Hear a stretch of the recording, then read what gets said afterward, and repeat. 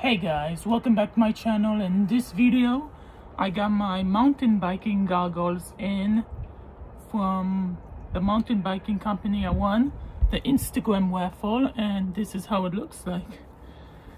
Just a quick little review of these goggles. That's how they look and they're pretty cool. So yeah. So yeah, I like them. It has the vents pretty comfortable for mountain biking so yeah that's it. If you enjoyed don't forget to hit that like button smash that subscribe button and see you in the next video. Peace out